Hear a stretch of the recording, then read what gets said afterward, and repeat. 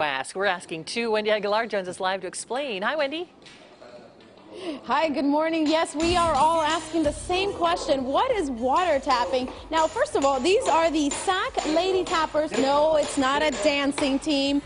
But what exactly is it? So we have Coach Dave right over here, and these young ladies are getting ready for a big competition coming up next month to represent our area. So tell us what is tapping, first of all. They are actually what they're doing is they're physically making a water tap in a water main like we would do typically every day out in the field. Um, at this point right now, what they're doing is really drilling a hole in a ductile iron pipe.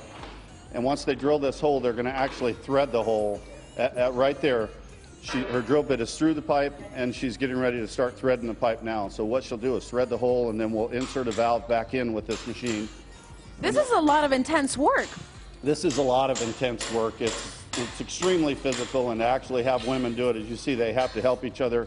A typical men's team wouldn't do this, but a women's team, they all help each other and they work together really well.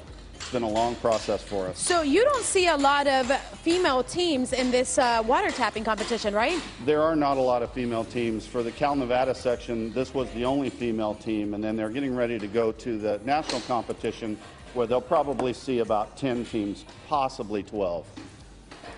Very interesting. So, how do you prepare for this? It's just a lot of practice and a lot of work at this point. Here we go. Here we go. Okay, we're seeing some water now. Okay, I think we're going to see some water, and I'm just going to move out of the way.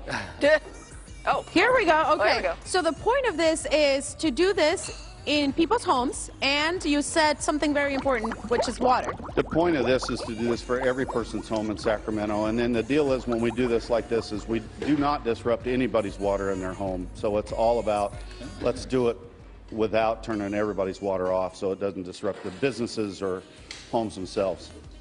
Tell us the names of all these people that you have on this team, so we want to meet them. Uh, on that side over there is Roxanne. She's our alternate in case any of them get hurt. On this side, on the back side, we call her the machinist. This is Megan. Out here in the middle here, this is Jolyn. She's our what we call the cranker. And then down in front of us there, that's our other Megan, and she's what we call the copper girl. So at this point, she's getting the copper ready to go she's working on actually the city service valve right there, and it would be connected typically to where that pipe is, is where the meter would be.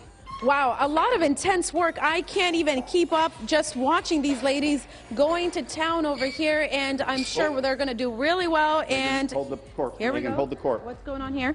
Well, what's happened is they're trying to get the adapter off at this point, and in competition, pipe wrench on the corp. At this point in competition, that valve needs to be held so that it doesn't, it'll actually physically unthread out of the pipe. And then we'll all get really wet at this point.